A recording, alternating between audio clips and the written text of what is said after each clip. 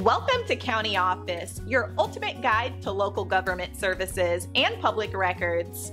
Let's get started. Is there a federal gaming commission? Let's dive into the world of gaming regulations in the United States. When we talk about gaming, we're not just talking about video games or board games, but also about casinos, lotteries, and other forms of gambling. In the U.S., gambling is regulated at both the federal and state levels.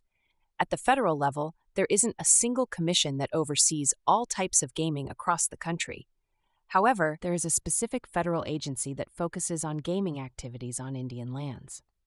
The National Indian Gaming Commission, or NIGC, is a federal regulatory agency created in 1988 under the Indian Gaming Regulatory Act, IGRA. This act was designed to support and promote tribal economic development, self sufficiency, and strong tribal governments through the operation of gaming on Indian lands. The NIGC has several key responsibilities. It regulates and monitors Indian gaming activities, ensures that games are fair and honest, and protects Indian gaming from corruption. The Commission also reviews the backgrounds of individuals and entities involved in Indian gaming to ensure they are suitable. It oversees the conduct and regulation of Indian gaming operations and enforces violations of the IGRA and its regulations. The NIGC works closely with tribal regulatory agencies and provides them with technical assistance and training. It has regional offices across the country to better serve tribes and ensure compliance with the regulations. While the NIGC is a federal agency, it is specific to Indian gaming and does not regulate other types of gaming activities across the U.S.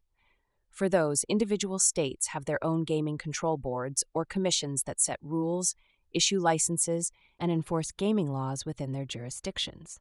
So, to answer the question, there is a federal gaming commission, but it is specifically focused on Indian gaming. For other types of gaming, regulation falls to the states.